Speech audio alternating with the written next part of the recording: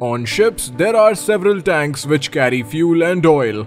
The marine diesel engines, emergency generators, boilers, etc. draw fuel from these storage tanks, also known as service tanks.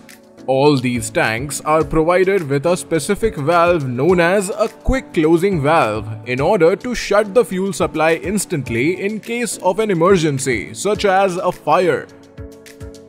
Usually on ships, they are operated for closing from a remote position manually, hydraulically, or even by using compressed air. The remote shut device or arrangement is located outside the engine room. This is done so that in case of a fire or an event when the engine room is inaccessible, the fuel supply can be cut off externally from a remote position.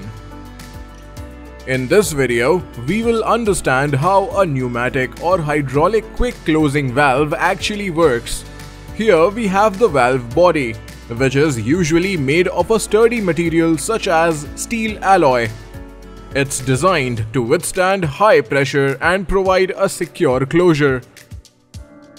This is the valve disc. It's a circular component that fits inside the valve body when the valve is closed, the disc creates a tight seal, preventing the flow of fluid or gas. The valve disc is attached to one end of the valve spindle, which is also spring operated. The other end of the spindle is attached to the heart of the quick closing valve, which is the actuator assembly.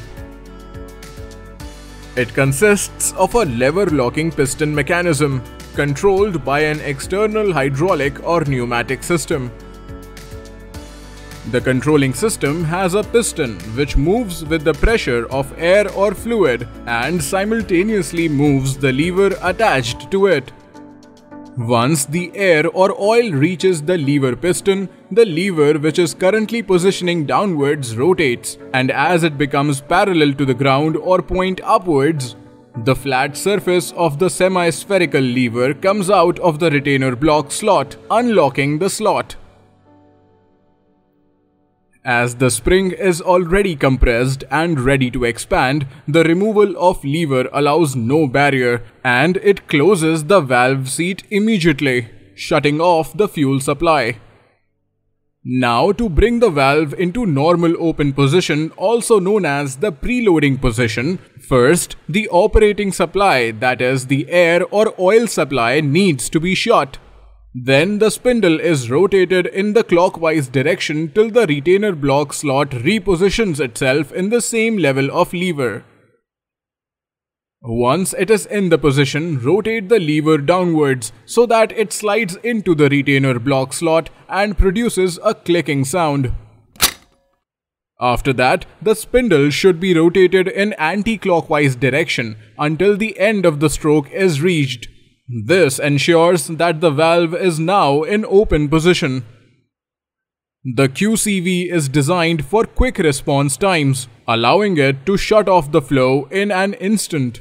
This makes it particularly useful in emergency situations where a rapid shutdown is necessary in order to prevent accidents or equipment damage. Do subscribe to Marine Insight YouTube channel and press the bell icon so that you don't miss any of our future videos. See you in the next video.